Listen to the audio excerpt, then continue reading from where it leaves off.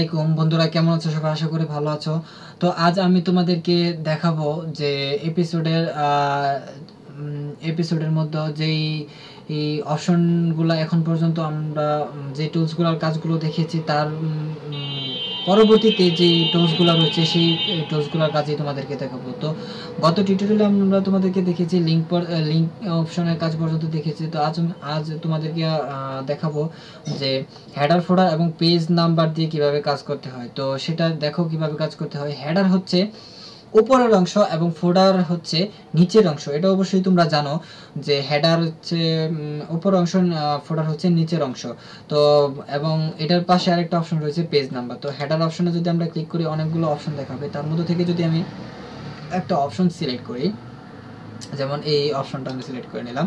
তো এইখানে যদি তুমি কোনো টাইটেল দিতে চাও, তো তুমি টাইটেল দিতে পারো, সমস্যা নেই। যেমন আমি একটা টাইটেল দিয়ে দিচ্ছি।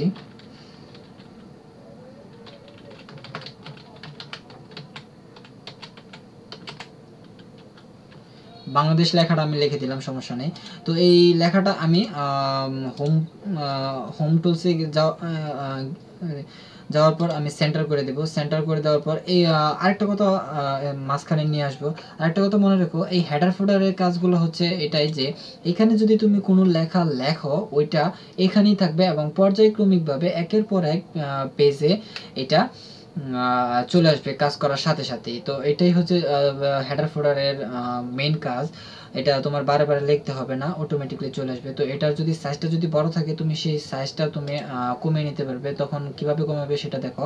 যে সবার শেষে একটা ডিজাইন নামে একটা অপশন আসবে সেখান থেকে সবার শেষের দিকে হেডার হেডার ফ্রম টপ এবং ফোল্ডার ফ্রম বটন এইটার সাইজটা এখানে দেখাবে। তো এটা যেহেতু হেডার হেডারের সাইজটা আমি একটু কমিয়ে নেব।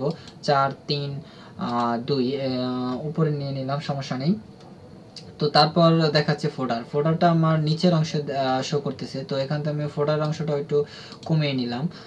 তিন, দুই এখানে দিয়ে দিলাম। তো ফোডারে যদি তোমার কোনো গুরুত্বপূর্ণ লেখা থাকে, যেমন অনেক সময় পেজ নাম্বার দিতে হয়, অনেক সময় তার যেমন ভিজিটিং কার্ডের শেষে যেই নামগুলো দেওয়া হয় এবং মুদ্রণে মানে তোমার প্রতিষ্ঠানের নাম ওইগুলো তুমি দিতে পারবে যেমন আমি একটা নাম দিয়ে দিচ্ছি যেমন Gazipur press club G J I P sorry G Z I P U R Gazipur P R E double S press C L U P club press club আমি এই নামটা দিয়ে দিলাম। তো এটার, এই ফোটার অংশটার সাইজ দিয়ে দিলাম দুই। তো এটা যদি আমি এখন পেজটাতে যদি ডাবল ক্লিক করি, তো এটা দেখো আমাদের হয়ে গেছে। তো এইখানে শো করতেছে যে বাংলাদেশ, এটা দেখো, এটাতে সহজে ক্লিক করলে এটা ধরা যাবে না। এবং ফোটারে যে নামটা লিখেছিলাম, ওই লেখাটাও ধরা যাবে না সহজে। এটাই হচ্ছে ফোটার এবং হেডারের কাজ। তো তারপর হচ্ছে পেজ নাম্বার পেজ নাম্বার থেকে তুমি যেইখানে তুমি কাজ করার পর একটা পেজের যেখানে তুমি নাম্বার দিতে চাও, সেখানে তুমি দিতে পারবে।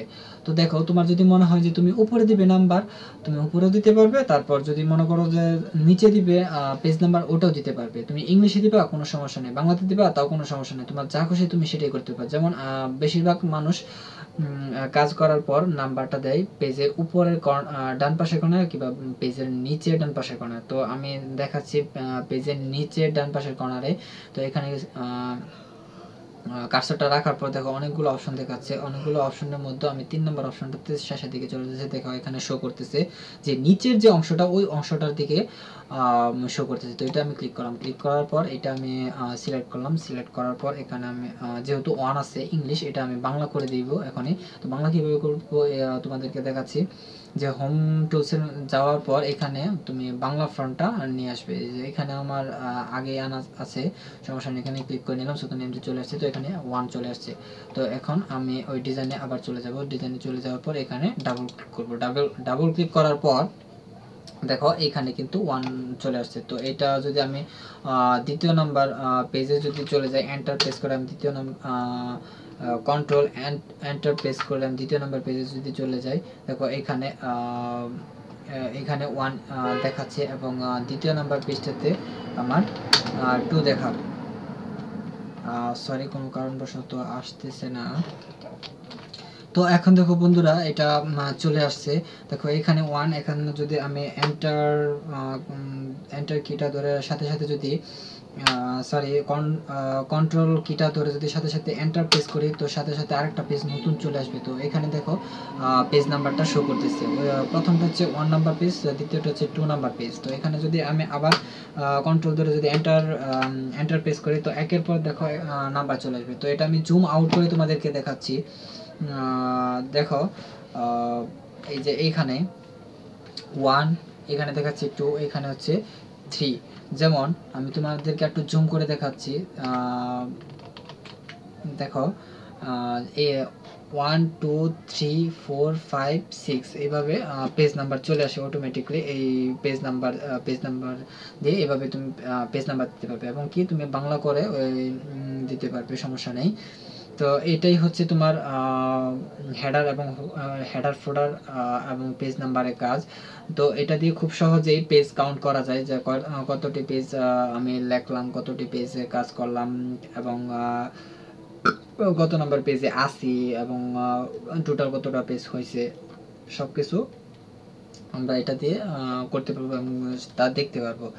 তো তারপর রয়েছে টুলস টেক্সট টুল রয়েছে। টেক্সট টুলের মধ্যে অনেক অপশন রয়েছে। তার মধ্যে থেকে এখানে একটা অপশন রয়েছে টেক্সট বক্স টেক্সট বক্সে ক্লিক করার পর অনেক ধরনের অপশন দেখাচ্ছে। তার মধ্যে থেকে যদি তার মধ্যে থেকে আমি এই অপশনটা সিলেক্ট করে নিলাম ড্র টেক্সট বক্স এইখানে ট্র্যাক করে আমি একটা বক্স সিলেক্ট করে নিলাম। বক্সের ভেতর আমি লিখলাম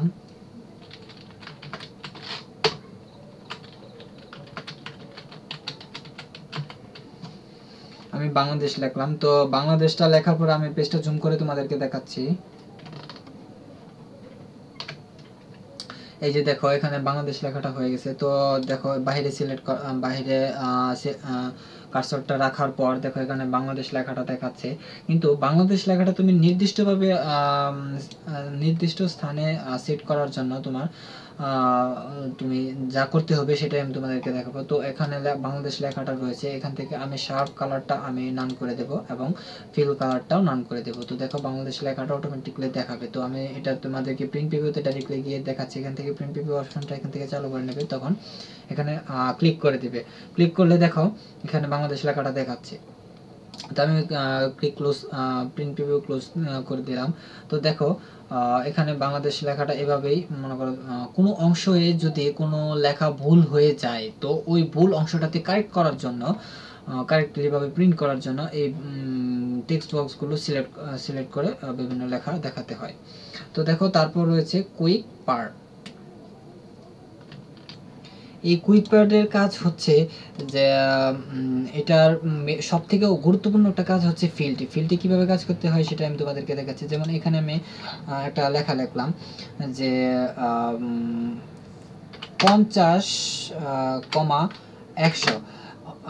একশো। এই লেখাটাকে কীভাবে হরলবে পরিণত করব, সেটাই আমি তোমাদেরকে দেখাবো। এটা আমি সিলেক্ট করে নিচ্ছি। সিলেক্ট করে আমি কাট করে নিলাম। কাট করে নেওয়ার সাথে সাথে এই কুইক পেডে ফিল্টের মধ্যে ক্লিক করলাম। ফিল্টে ক্লিক করার পর এখানে অনেকগুলো অপশন হচ্ছে তার মধ্যে ই কার্সারে ক্ষেত্রে ক্লিক করলে দ্বিতীয় নম্বরে একটা অপশন দেখাবে eco E E Q E Q মানে ইকুয়েশন ইকুয়েশন ফিল্টে ফিল্ড করে ক্লিক করব। ক্লিক করার পর অপশনে ক্লিক করব। অপশনে ক্লিক করার পর এই যে এফ যে লেখাটা রয়েছে তার মধ্যে ক্লিক করে অ্যাড ফিল্ড করে দেবো। অ্যাড ফিল্ড করে দেওয়ার পর এটার মাঝখানে কার্সরটা রেখে এটা আমরা মাঝখানে ডিলিট করে দেবো এবং এখানে আমরা ডাইরেক্টলি কন্ট্রোল বি দিয়ে পেস্ট করে দেবো। পেস্ট করে দেওয়ার পর এখানে ওকে তারপর এখানে ওকে দিলে দেখো হরলব হরলবের মতোই একটা অংশ চলে আসছে যে একশো ভাগের পঞ্চাশ ভাগ। তো এটাই হচ্ছে ফিল্ডের সবচেয়ে গুরুত্বপূর্ণ একটা কাজ। তো এটাই হচ্ছে একটা গুরুত্বপূর্ণ কাজ তো তোমরা তোমার যদি এই টিউটোরিয়ালে যদি টিউটোরিয়ালটা যদি তোমার ভালো লেগে থাকে, তো অবশ্যই অবশ্যই লাইক কমেন্ট শেয়ার করো এবং আমাদের চ্যানেলটা সাবস্ক্রাইব করে রেখো। অবশ্যই আমাদের চ্যানেলটাকে চ্যানেলটাকে তোমাদের বন্ধুদেরকে দেখার সুযোগ করে দিও। আমাদের চ্যানেলটার নাম হচ্ছে PC teach and Android tips তো এই চ্যানেলটা অবশ্যই প্রতিনিয়ত আমরা শিক্ষণীয় বিষয় নিয়ে অনেক টিউটোরিয়াল এটাতে অ্যাড করি। তো অবশ্যই অবশ্যই লাইক কমেন্ট শেয়ার করো এবং কমেন্টস কমেন্টস করো।